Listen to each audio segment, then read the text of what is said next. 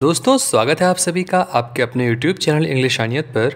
और आज के इस वीडियो में हम जो शॉर्ट स्टोरी डिस्कस करने वाले हैं, उसका टाइटल है द अम्ब्रेला इसको लिखा गया था एक फ्रेंच ऑथर जिनका नाम था गाई डी माओपसेंट कुछ लोग इन्हें माओपसा भी कहते हैं और कुछ लोग इसको माओपसेंट भी प्रोनाउंस करते हैं।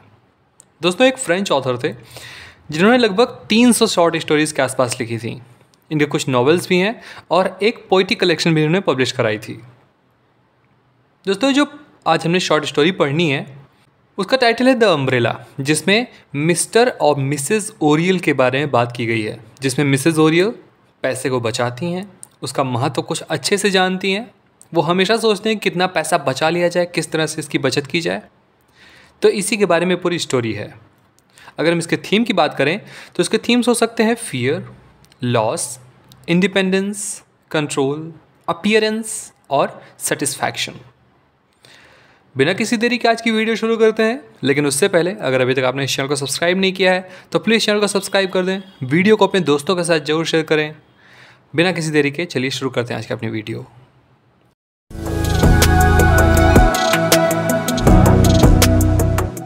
तो दोस्तों, कहानी शुरू होती है।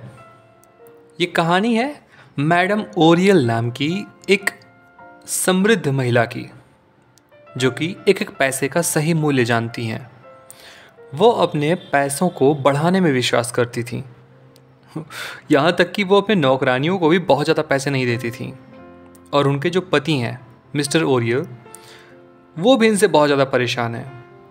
वो भी इनसे अपने प्रॉपर पॉकेट मनी निकालना बहुत ही मुश्किल काम समझते हैं। इन लोग की कोई संतानें नहीं थी। फिर भी महिला अनावश्यक चीज़ों पर खर्च करने को तैयार नहीं थी। और जो उनके पति हैं वो अक्सर उनके कंजूस स्वभाव होने के कारण होने वाली कठिनाइयों के बारे में उनसे शिकायत करते रहते थे। मिस्टर ओरियल जो हैं वो एक वॉर ऑफ़िस में हेड क्लर्क के रूप में काम करते थे उन्होंने अपनी पत, पत्नी के इच्छा अनुसार अपने पैसे बढ़ाने के लिए काम करना शुरू किया। क्योंकि वो लोग समृद्ध परिवार से थे तो इनको काम करने की उतनी आवश्यकता नहीं थी। लेकिन इतनी इनकी पत्नी का ये मानना था कि पैसे जितना ज़्यादा बढ़ा लिया जाए, उतने ही अच्छे हैं। पिछले दो वर्षों से वो एक फटे हुए छाते के साथ अपने कार्यालय जा रहे थे। एक अम्ब्रेला था जो कि फटा हुआ था तो उनके जो कलीग्स थे, वो उनकी बहुत मज़ाक उड़ाते थे।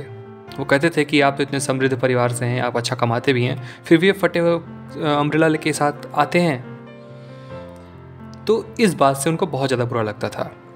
उन्होंने अपनी पत्नी से कहा कि उनको एक अम्ब्रेला लेना है, एक छाता लेना है। तो उनकी पत्नी ने एक सस्ता सा आठ फ्रैंक्स खर्च करके एक छाता लिया, उनको दे दिया। अब जो उनके कलीग्स थे, वो इस बात पर और उनकी मज़ाक उड़ाते थे कि, अरे वाह, तुम तो फटे हुए छाता चेंज करके इतना सस्ता सा, इतना गंदा सा दिखने वाला छाता लेकर के आए हो। और आने वाले तीन महीने के भीतर ये छाता भी खराब हो गया। अब जो मिस्टर ओरियल हैं, वो अपनी पत्नी से एक नया रेशम से बना हुआ छाता खरीदने के लिए 20 फ्रैंक्स खर्च करने का रिक्वेस्ट करते हैं, उनसे कहते हैं। और फिर उन्होंने इस छाते को 18 फ्रैंक में ख़रीदा। अब जो नया छाता है, वो अच्छा दिखता था तो अब वो ऑफ़िस में उनके मज़ाक नहीं उड़ाए जाते थे। जब मिस्टर ओरियल शाम को घर लौटे तो उनकी पत्नी ने छाते की जाँच की। उन्होंने छाते के बीच में गोल छेद देखा। यह छेद सिगार के सिरे से जलाया गया था। उसने ऐसा करने से या ऐसा करने के लिए, ऐसा छाते के साथ हो जाने के लिए अपने पति को फटकार भी लगाई। उन्होंने कहा कि तुम लापरवाह हो। तुम ध्यान नहीं दे सकते हो, इतना नया छाता है अभी, इतना महँगा छाता है और अभी से फटने लगा। और फिर इतना कहते हुए जो पुराना छाता था, उसके रेशम के एक टुकड़े से छाते के छेद को ठीक कर दिया। अगले दिन मिस्टर ओरियल फिर अपने ऑफ़िस गए और वहाँ से जब लौटे तो मिसेस ओरियल ने छाता फिर से चेक किया और वो जो कवर थे छाते के, उसमें भी छोटे छोटे छेद हो गए थे। वे जलने के निशान थे। छाता दिखने में बहुत गंदा लग रहा था, वो बर्बाद हो गया था। तो उन्होंने अपने पति को फिर से डांटा, उसको समझाने की कोशिश की कि ऐसा क्यों हो जा रहा है बार बार तुम नया छाता लेकर के जाते हो, फिर भी हमेशा ऐसा हो जा रहा है। तो पति ने बताया कि शायद ऑफ़िस में कोई ईर्ष्या के बदले की भावना से छाता जला दिया होगा। ये बातें होती रहीं, तभी उनके यहाँ पर एक गेस्ट आ गए भोजन पे। यानी डिनर करने गेस्ट आए तो गेस्ट के सामने ये मामला रखा गया। और जो मैडम ओरियल थी, उन्होंने बहुत ही दृढ़ता से अपने बात को रखा कि ये छाते की कद्र नहीं कर पा रहे। अब तो मैं इनके लिए एक नौकर जैसा छाता खरीदूँगी जैसा कि मैं अपने नौकर के देती हूँ वैसा छाता। उसके पति ने ये कह करके मना कर दिया कि वो नौकर का छाता लेकर के कार्यालय नहीं जाएगा। तो जो गेस्ट हैं, उन्होंने ये सुझाव दिया कि उन्हें आठ फ्रैंक्स खर्च करके इसको रिपेयर कर लेना चाहिए। मैडम ओरियल ने इनकार कर दिया। तो फिर अतिथि ने यह बताया कि जले हुए छाते के लिए वो अपनी कंपनी बीमा से या जो अपनी बीमा कंपनी है, उससे उनको मुआवजा प्राप्त करना चाहिए। यानी कि जो बीमा उन्होंने कराई हुई थी अपनी बीमा कंपनी के लिए कि कोई भी अगर डैमेज कहीं किसी चीज़ में हो जाता है तो वो उनको जो इंश्योरेंस हुआ होता है तो उसके कुछ पैसे मिलते हैं। तो इनको इस चीज़ के लिए अप्लाई करना चाहिए। तो मिसेस ओरियल को तो ये चीज़ें बहुत अच्छी लगी, ये सुझाव तो उन्होंने ऐसा ही सोचा। वो चाहती थी कि छाता ऐसा लगे कि उसकी मरम्मत नहीं की जा सके। इसलिए उन्होंने छाते में खुद से एक बहुत बड़ा सा छेद कर दिया और उसमें जो रेशम के बचे हुए हिस्से थे उसको लपेट दिया। अब वो अग्नि बीमा कंपनी के लिए कार्यालय के लिए रवाना हुई। फिर वो दुर्घटना विभाग में गई। दुर्घटना विभाग के जो प्रबंधक थे, वो कुछ अदर कस्टमर्स के साथ बात करके, बात करने में व्यस्त थे, जो मैनेजर थे। फिर मैनेजर को जला हुआ छाता दिखाया गया। इसकी कीमत उसे 20 फ्रैंक्स पड़ी थी। उन्होंने ऐसा उस मैनेजर को बताया। जो बीमा कंपनी है, जो जिससे इन्होंने बीमा पॉलिसी ली है, वो जले हुए छाते के लिए उन्होंने कहा कि मैं ऐसे जले हुए छाते का कारोबार नहीं करता, ना मैं छाते का कारोबार करता हूँ, ना मैं इसके रिपेयर करने के लिए कोई आपको मुआवजा दे सकता हूँ, ना मैं कोई इसका पैसा दे सकता हूँ।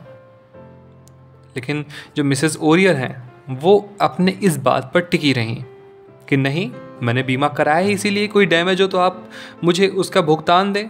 उसका पैसा मुझे वापस करें जिससे कि मेरी जो भी चीज़ें वो सही सलामत रहे, वरना मुझे बीमा कराने की क्या ज़रूरत थी?